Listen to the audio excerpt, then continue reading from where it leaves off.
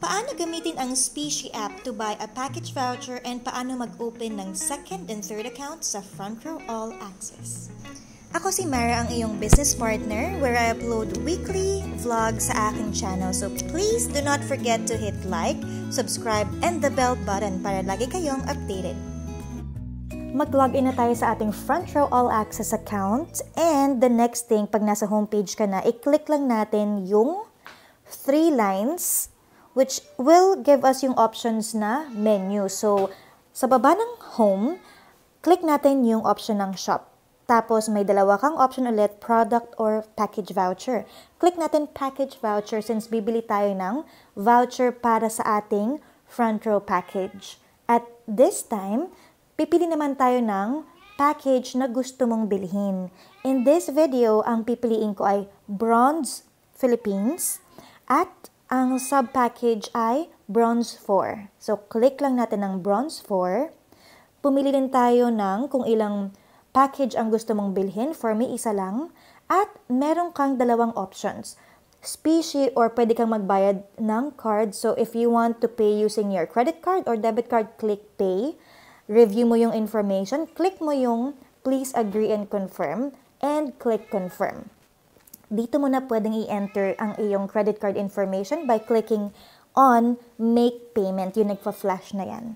At i-follow mo lang yung instructions. Pero in this video, since ang gusto nating gawin is gamitin ang ating Species wallet, that's why babalik lang ako dun sa naumpisahan ko at gagamitin natin yung ating Species na wallet or pera kasi syempre I'm sure that you are so excited na makapag-transaction gamit ang Species account. So this time, kinlik ko yung Pay with Species na button and then kailangan ko nang mag-login sa ating Species account. So puntahan natin ng Species app at pag nabuksan na ito, kailangan natin i-enter ang ating Species PIN code.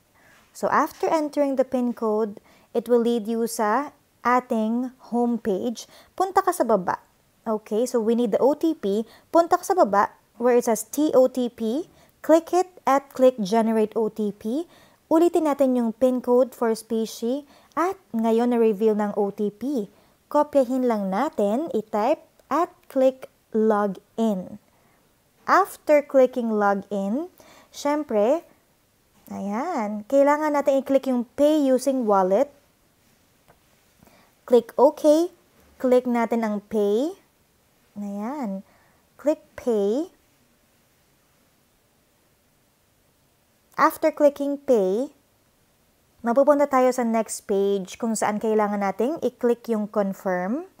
And that's it. Meron na tayong voucher para sa ating pag-encode.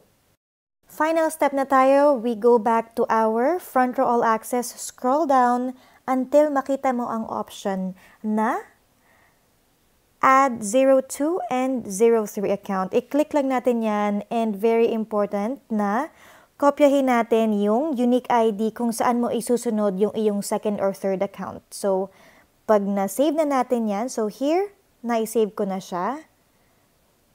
I-click na natin yung add 02 and 03 accounts. Very easy na to. So, click lang natin yung direct referral tapos kung anong package, tapos i-click na natin ngayon, ikakopya na natin ang unique ID kung ano ang magiging direct upline. Click check availability. Next, piliin natin kung left or right. And click lang natin yung mga options. And I'm not a robot, so very important security feature yan. After that, register as distributor. I-review mo lang lahat ng information ay tama. Click please agree and confirm. Ako ini-screenshot ko muna. And then click confirm.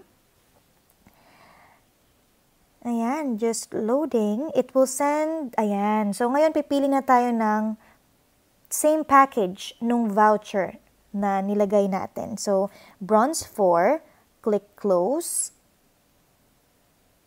Enter natin yung ating coupon code na in-email sa atin after natin sa species kanina. So, kopyahin lang natin and click apply. Verify yung OTP na nakasend sa email address natin. Okay, so place order. Enter na natin ang ating OTP and click submit at place order. Pero before that, kung parehas ng billing address or shipping address, click lang natin use registered address and then click the button place order. Double check lahat ng info, click confirm.